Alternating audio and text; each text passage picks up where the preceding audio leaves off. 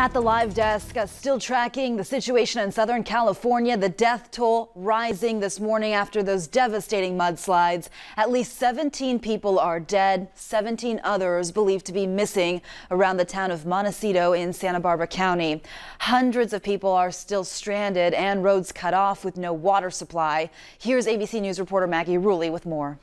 This morning, rescuers going door to door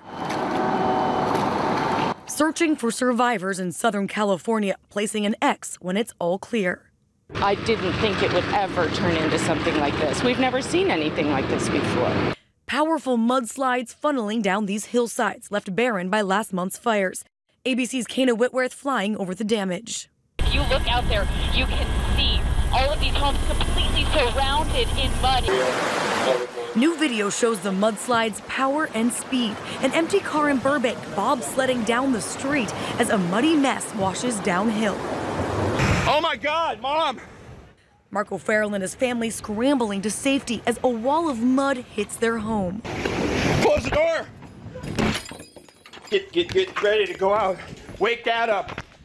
The Farrell family, some of the lucky ones, surviving the ordeal. But the death toll is rising. At least 17 people have been killed, including Roy Rohter, the founder of a Catholic school. And this morning, pictures surfacing of some of the missing 12 year old Sawyer Corey and her sister Morgan. Peter Flore, last seen at his Montecito home.